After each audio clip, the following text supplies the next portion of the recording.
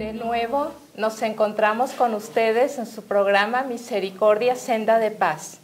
En este programa nos acompaña el señor Ernesto Muñoz González y su servidora Ana Leticia González, que tenemos el gusto de compartir con ustedes nuestras reflexiones acerca de la Natividad de la Santísima Virgen María. Hola amigos, me da muchísimo gusto compartir con ustedes este tema bellísimo de la Natividad de la Santísima Virgen María. Y también me da mucho gusto compartirlo contigo, Analeti, gracias. Creo que es algo que nos va a enriquecer muchísimo y sobre todo eh, el corazón se ensancha cuando ama. El corazón es como un músculo, un deportista que ejercita alguna parte de su cuerpo porque sea un atleta para correr, para nadar en la medida que ejercita esa parte de su cuerpo, se hace más fuerte, agarra más volumen. El corazón, el amor es exactamente lo mismo. A la hora de ensancharse el amor, el corazón se ensancha, el espíritu crece. Así que vamos a terminar creciendo en este programa. Sí, es de gran gozo hablar del nacimiento de la Virgen María. Recordar que ella estuvo en nuestra historia, que no hay ciertamente en la Biblia unos textos que nos marquen con exactitud todo ese proceso, pero que tenemos un aspecto histórico y el magisterio de la Iglesia, la sagrada tradición, que avalan todo este sentido del nacimiento de la Virgen María, que es el 8 de septiembre. ¿Quisieras hablarnos un poco acerca de este aspecto histórico, Ernesto? Sí, cómo no. Bueno, ya lo dijo Analeti no existe un texto histórico. Las sagradas escrituras son celosísimas de la Santísima Virgen María, la dejan poquito conocer, pero con ese poquito es un caudal interminable de gracias y de bendiciones. El aspecto histórico prácticamente se basa en la tradición cristiana, patrística, o también fíjate que regalos de Dios que Dios también quiere dar a conocer a su madre a través de revelaciones privadas, como sucedió con Ana Caterina Emmerich. ¿Quién es Ana Caterina Emmerich? Ana Caterina Emmerich fue una religiosa agustina del siglo XVIII, mediados, finales del siglo XVIII, 1780, beatificada por el Papa Juan Pablo II, visionaria. Ella vivió muchos años solo de la Eucaristía, de la Sagrada Comunión, eh, sufrió muchísimo, eh, padecía muchísimo, fue un alma víctima. Y a ella también se le debe el muy famoso libro La amarga pasión de nuestro Señor Jesucristo, del cual Mel Gibson se basó para hacer la película La pasión de Jesús. Es un libro bellísimo que narra descriptivamente todo lo que nuestro Señor vivió en su amarguísima pasión. Bueno, pero ella no solo tuvo esas visiones, sino tuvo enorme, impresionante cantidad de visiones y entre ellas hay una compilación que se llama La vida de María. Muy interesante. Recordemos que es una revelación privada, pero Analeti, como no tenemos elementos, ni hay un texto histórico que nos pueda hablar de esto, ¿por qué no tomamos estos bellos elementos agregando los de la tradición cristiana y poder descubrir. Mira, Ana Caterina Emmerich habla de San Joaquín de Santana, empieza a platicar un poco ahí para preparar cómo fue, para platicar cómo fue la preparación del nacimiento de la Santísima Virgen María. Ellos venían de la familia de David, es, son descendientes de la familia de David, eran hombres justos y limpios. Y antes de casarse, ellos tuvieron por separado el mensaje de que ellos engendrarían la criatura a la cual vendrían nuevamente las gracias de promesa de salvación al mundo. Entonces, ellos se casaron y tuvieron una hija que se, llama, se llamó María Elí.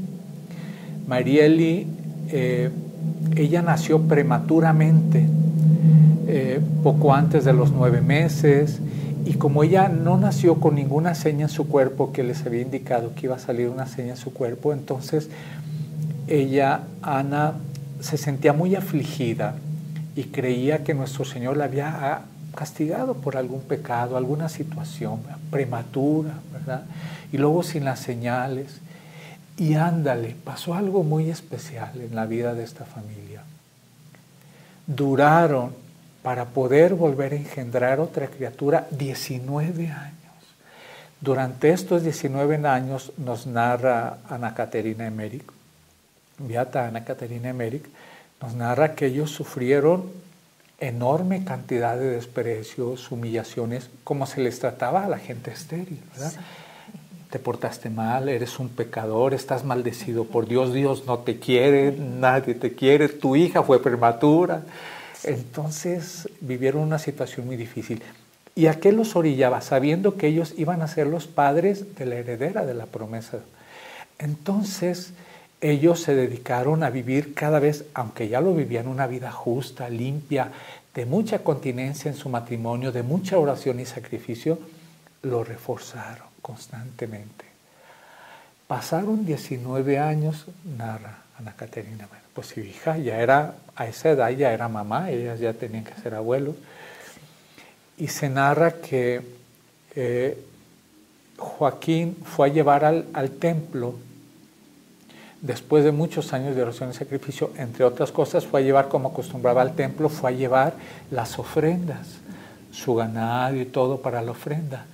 Entonces, cuando llegó al altar de las ofrendas, un sacerdote lo mandó al rincón, lo despreció y lo humilló. Usted es estéril, usted se queda allá y su ofrenda no la voy a tocar, no la voy a tocar en este momento. Eh, en ese momento en el que él estaba siendo como humillado, también tuvo la sensación ah, de su esposa, Santana, de que fuera al templo y que se iba a encontrar con su esposo. El ángel les había dicho que había llegado el momento. Se encontraron los dos debajo de la, de la puerta que se llama la dorada, el dorado, la puerta dorada, y a raíz de ahí, este, comentaron lo que, la sensación que les había quedado. Regresaron a Nazaret porque dicen que ellos los primeros años los vivieron en Séforis y después se cambiaron como a una hora de Nazaret, una casa, porque ellos eran acomodados, hasta que poco de tiempo después pudieron engendrar una niña que descubrieron que era un gran regalo. Y cuando estaba ya a punto de dar a luz, mandaron a llamar a la hermana de de Santana y, y más familia. Y, cuentan a Caterina Mary que ella veía en un cuadro cómo llegó un momento en que mientras las mujeres oraban en una medianoche, ella sintió una luz intensa, estaba recostada, cuando de pronto pudo recibir en sus brazos a su niña. Y descubrió pues los signos de que era la niña de las promesas. Y fíjate lo interesante, y cómo se une con la, Sagrada Biblia. Es figura de Santa Ana, Sara, la esposa de Tobías. Tú recuerdas que Sara tuvo siete maridos y que la noche de la boda todos morían y que ella era despreciada hasta por su propia servidumbre. Estéril, Dios no te quiere, tú matas a tus maridos, Dios te castiga. Ella es figura de Ana que duró 19 años siendo una mujer estéril. También el profeta Elías, cuando estuvo en el monte Carmelo, la pequeña nubecilla, después de durar tres años cerrado el cielo, no había una sola gota en toda esa región y estaba al borde del caos, vio una pequeña nubecilla que le invocó siete veces, porque por alguna razón, dice Ana Caterina, que la Virgen, la Natividad de la Santísima Virgen María se dio en, el séptimo año o en la séptima etapa del mundo. Y después de eso, un gran torrente, fue una, una lluvia impresionante, ¿verdad? Es figura de María. Cuando hubo el momento del parto de la Santísima Virgen María, que se llenó de luz todo aquello, volvió a salir una llama tan intensa de luz cómo Moisés la pudo ver en la zarza ardiendo que no se consumía, que es figura de la Santísima Virgen María, porque, porque María pudo ser madre sin perder su virginidad. Y la zarza ardiendo ardía, pero intensamente, y no se consumía, no se chamuscaba. Perdón, me he alargado un poquito. y pido perdón. No, no, está bien, Ernesto. sé que me, es muy educado y me disculpas. Nada más quiero comentar algo que a mí me parece algo muy importante. San Joaquín y Santa Ana se unieron por obediencia y en perfecto y en puro amor, por amor a Dios, porque Dios quería a la hija de las promesas. Y otra cosa muy importante. Eh, veían a Catarina América en el momento del alumbramiento en muchas comarcas de Nazaret, en la región de Nazaret, esa zona, y también en Jerusalén, muchos endemoniados salían a la calle y gritaban, desesperados, gritaban desesperados. Ahora sí ha llegado la mujer de, las promesas, desesperados gritaban y salían los, demonios de los posesos, los liberaban después de, de, grandes trajines y grandes convulsiones, salían. Entonces, ¿cómo aún el mismo Satanás pudo percibir de una manera maravillosa la natividad del nacimiento en la historia de la Santísima Virgen María? Sí. Ahí me recuerda el texto en donde dice que una mujer pisará el calcañal, ¿verdad? La que traerá el canal por donde viene la salvación a todos. El dominio contra el mal, ¿verdad? Qué grandeza. Es muy bello. Fíjate que hay un libro de, de Balducci que se llama El demonio. Y este mm, es una persona muy preparada en el aspecto de todo el aspecto de exorcismos. Y, en una ocasión eh, un exorcista le preguntaba al demonio, bueno, al poseso, al demonio a través del poseso, bueno, tú blasfemas contra Dios, contra la Trinidad, contra Jesús, contra el Espíritu Santo, tú blasfemas contra todos, pero ¿cómo? ¿por qué no blasfemas contra la Virgen? Y él le contestó su forma grotesca, porque el títere de la cruz me lo ha prohibido. Dejas respeto a su madre. El respeto absoluto. Absoluto a María. Invocar a María es la presencia segura de Dios y el ahuyento seguro del demonio. ¿Y qué consecuencias tiene nuestra liturgia esta celebración, Ernesto? Porque es algo muy grande que tiene la conexión con el 8 de diciembre, ¿verdad? La Inmaculada Concepción. ¿Nos quieres hablar un poquito más de estas dos fechas en conexión? Bueno, desde luego la Inmaculada Concepción es el momento en que ella quedó concebida en el vientre de Santana por una gracia especial de nuestro Señor. Como decía una amiga mía catequista, decía, Dios pudo, quiso, la hizo. Se acabó. Dios podía, lo quiso, la hizo. Por una gracia especial de nuestro Señor, ella quedó concebida eh, con la gracia de evitarle el pecado original. Y a los nueve meses, obviamente, la Natividad de María. Eh, y es el momento en que las promesas desde Abraham, algo que se me había olvidado, fíjate que lo llama así Ana Caterina Emmerich, en el anteinfierno también hubo gozos. Y dice que los patriarcas, que Adán y Eva, en el momento de la Natividad de la Santísima Virgen María, exultaban de gozo y su gloria aumentó, aunque estaban, se le llama quien en el seno de Abraham y hay muchas maneras de llamarlo. Ella la llama el antiinfierno, así lo llama. Como también los patriarcas se llenaron de este gozo. Bueno, pues la iglesia romana, la iglesia católica romana, siempre lo ha celebrado por tradición desde el Papa eh, San Sergio en el siglo VIII octavo, él estuvo entre el siglo octavo, finales del siglo octavo, principios del siglo noveno, San Sergio, celebra la Natividad de la Santísima Virgen María el 8 de septiembre. Nuestros hermanos ortodoxos lo celebran un 5 de agosto. Y nuestros hermanos del rito caldeo, todos son cristianos, eh, católicos, pero son diferentes ritos, el rito armenio, caldeo, ortodoxo. Bueno, Nuestros hermanos del rito caldeo, ellos lo celebran el 9 de mayo, la Natividad de la Santísima Virgen María. Y me llama mucho la atención que los ortodoxos lo celebren el 5 de agosto. El 5 de agosto fue el día que se dedicó el lugar, se escogió el lugar para la dedicación de la primera basílica en honor a la Santísima Virgen María, por allá el siglo IV, que es Santa María la Mayor, también conocida creo que Nuestra Señora de las Nieves, porque siendo agosto un mes de impresionante calor en Roma, el Papa pidió una señal donde deberían de hacer la primera basílica dedicada a la Virgen. Y entonces él pidió como un efecto, como una gracia, una señal en donde amanecieran nevado. Era algo insólito, temperaturas altísimas, 38, 40 grados, ¿dónde iba a nevar? Y dicen que exactamente en esa colina donde está ahorita actualmente la, la, basílica dedicada a Santa María la Mayor, fue ahí un 5 de agosto donde apareció la señal.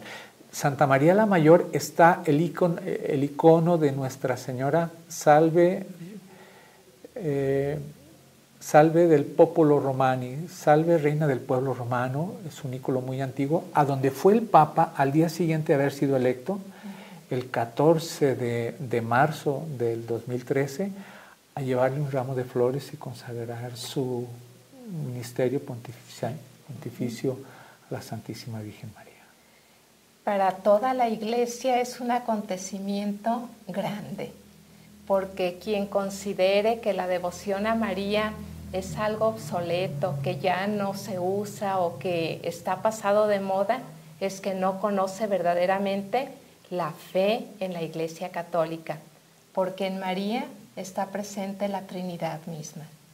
Entonces, esta fiesta tan grande, aunque no es fiesta de precepto, porque fue eliminada de las fiestas de precepto, pero para todos nosotros los católicos sigue siendo una gran celebración recordar que María estuvo en la tierra, que María nos es la primera en haber llegado al cielo, que Jesús tuvo unos abuelos, San Joaquín y Santa Ana, y eso debe ser para nosotros un gran estímulo como humanos, porque ella, todo el amor que le tenemos a ella, ella lo lleva a su Hijo. Entonces, amar a María nunca es suficiente. Sí, mira, mm, voy a decir una, una, agregar un poquito más. Comentas que la Santísima Virgen María estuvo en la tierra. ¿Sabes qué? Mira, te voy a decir una experiencia que hay con la Virgen de Medugori. Cuando fue un grupo de, mm, de peregrinos a, a en un momento de las apariciones, la Santísima Virgen María le dijo a uno de los videntes que les dijera a los mexicanos, ¿por qué venían de tan lejos? Que les dijera lo siguiente, sí, yo me aparezco en Medugori, pero yo vivo en México. Entonces, la Virgen María vive en México, la Virgen María está entre nosotros. Ella tuvo su momento histórico, pero ella permanece entre nosotros. Ahora, quiero comentar esto. Mira, Leti, tú tienes tu fecha de nacimiento, yo tengo la mía, alguien más puede tenerla, bueno, todos tenemos alguna, si no la tuviéramos, entonces no, estaríamos. no estaríamos aquí. Y cuando es tu cumpleaños, todos te festejamos, todos los regalos a ti, los chiqueos, las oraciones, bueno, y a quien sea, a mí o a quien sea. Pero podemos decir que en la Natividad de la Santísima Virgen María podemos decir que es el nacimiento de todos nosotros porque es la criatura en la que nosotros fuimos nuevamente renacidos. Si todos volteamos a ver a Adán y a Eva y decimos, ay, por el amor de Dios, ¿qué les costaba aguantarse de esa, de esa manzana, verdad? Mira nomás en qué trifulca nos han metido. No, hay que ver cómo Dios en la natividad de la Santísima Virgen María, el nacimiento de la Santísima Virgen María, tú y yo renacemos somos nuevamente criaturas. Tú y yo somos vistos a través de los ojos de Jesús, de María. La Trinidad nos ve a través de Jesús, de María, y nos ven a nosotros. Ellos son ese espejo a través, esa ventana a través de la cual nos reflejamos. Y en su nacimiento nosotros también renacemos, porque fuimos rescatados por Jesús, el fruto del bendito vientre de María. Entonces es María la criatura en la que tú y yo hemos sido rehechos, hemos sido sanados, porque ella sería madre del verdaderísimo Dios por quien se vive. Y qué importante el nombre, ¿verdad? Porque cada uno tenemos en nuestro nombre una misión o un sentido. Y en el nombre bellísimo de María, que se considera el significado la hermosa, la iluminada, la llena de gracia. Qué importante, todo eso nos trae a nuestro mundo con su venida. Sí, y, y algo muy importante, mira, lo hemos tocado en un aspecto histórico, litúrgico, espiritual, como si fuera un tema formativo. Mm, hablar de la Santísima Virgen María aunque sea formativo, pero siempre es hablar de algo, es hablar de nosotros, es hablar de nuestra madre. A nadie puede resultarle indiferente un tema de María. Es hablar de mi familia, es hablar de mi madre, es hablar de alguien que me cuida, alguien que está al pendiente de mí. Entonces, por eso celebrar la Natividad de la Santísima Virgen María y en general todos los momentos de la Santísima Virgen María, su natividad, su asunción, su encarnación, todos los momentos, los momentos dolorosos de la pasión de nuestro Señor, a nosotros nos debe llevar constantemente a Dios y a crecer en amor a la Virgen. Y hay una enorme cantidad de santos que marianos con una enorme devoción, San Alfonso María de Ligorio, eh, San Juan Bosco, eh, San Luis María Griñón de Montfort, que cuando era una celebración mariana hacían cosas muy hermosas, por ejemplo, ocurrencias muy hermosas en honor a la Santísima Virgen María. Si no me equivoco, San Luis María Griñón de Montfort, fíjate, él decía, este día, por amor a mi Madre Santísima, no le he de negar nada a nadie que me pida algo. Así que ese día era sí, sí, sí, sí, a todo era un absoluto sí. Era su gozo, quienes reforzaban sus oraciones, quienes sus sacrificios. Pues así es el gozo de la Santísima Virgen María, lo que nos, lo que nos deja, lo que nos alimenta el alma, lo que nos entusiasma tanto, sentirnos amados. Sí, yo creo que los grandes santos, bueno, no hay santos grandes y pequeños, ¿verdad? Los santos han sido fieles devotos y amantes de la Santísima Virgen. Yo creo que lo podemos ver a través de sus vidas, eh, lo vemos también en nuestros papas, ese amor tan grande que le tienen a la Santísima Virgen con una vocación o con otra, pero es la misma Virgen María, es la misma Madre del Salvador. Y yo creo que esta fiesta nos ha de dejar un gran amor a María, aumentar este sentido, esta devoción, celebrar los sábados marianos con más intensidad y no dejar desapercibidas todas sus festividades. Sí, mira, sobre todo me viene a la mente aquella frase, estoy casi seguro que era de San Bernardo de Claraval, que decía, la Virgen jamás será suficientemente alabada. Haya cierto temor, me parece muy equivocadamente en, algunas personas, tal vez muchas, no lo sé, de que ah, no hay que querer demasiado a la Virgen porque nuestro Señor se pone celoso y la Virgen no es una diosa. No, la Virgen con ese encanto maternal que tiene, todo el amor que le desbordamos, toda esa ternura que le damos, ella con esa ternura y con esa delicadeza, ira, nos lleva como en las bodas de Caná. Hagan lo que les diga. Entonces, nunca será suficiente el amor que le prodiguemos a la Santísima Virgen María. Nunca será suficiente.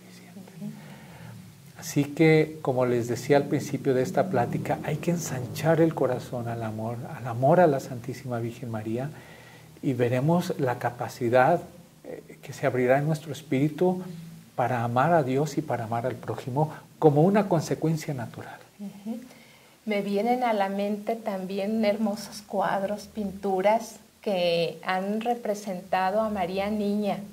Quizás no la vemos mucho dentro de, nuestra historia, de nuestro caminar en la iglesia, pero traigamos también a nuestra mente esa infancia de la Virgen. San Juan Damasceno dio esa expresión, bendita la llena de gracia, bendita niña, bendita hermosa, que recoge el, ángelus también, esa belleza de María, salve llena de gracia. Entonces es una fiesta para alegrarnos y para renovar nuestro amor a la Santísima Virgen. Sí, mira, y hay una frase que me gusta mucho de el, padre San Ignacio de lo, no, perdón, no, el padre no San Ignacio Loyola, el padre Ignacio Larrañaga, sí, perdón. En su libro El silencio de María, que dice una frase bellísima, antes de ser Madre de Dios y Señora nuestra, fue Señora de sí misma. Me viene a la mente también recordar un poquito los escritos de Ana Caterina Emery, con lo que empezamos un poquito la historia de este. Y dice que la Santísima Virgen María a los cinco años fue llevada al Templo de Jerusalén y quedó hasta los 12, 13 años en depósito ahí, porque se usaba que las niñas fueran educadas en la escuela del templo y que a esos cuatro cinco años, muy pequeñita, le hacían una prueba, la trataban y mostraba un equilibrio, una paz, una madurez impresionante. La niña iba saltando de gozo por ir al templo, como siempre preparada. Así que la infancia de María para nosotros nos debe decir mucho, ¿no? Aparte de los cuadros y de las imágenes, La llena de gracia, siempre llena de gracia. Sobre todo hay algo muy importante María siempre estuvo fundida en la voluntad de Dios. María siempre fue un sí a Dios. María siempre estuvo perdida en la voluntad de Dios. Aunque ella tenía voluntad propia, ella la puso a los pies de nuestro Señor y siempre vivió de la voluntad de Dios.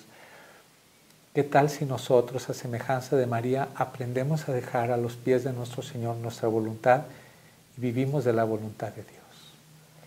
Ernesto, pues habría muchísimo más que compartir. Te agradecemos muchísimo tus reflexiones, lo que has compartido con nosotros y con nuestros televidentes y los esperamos en un próximo programa. Misericordia, senda de paz.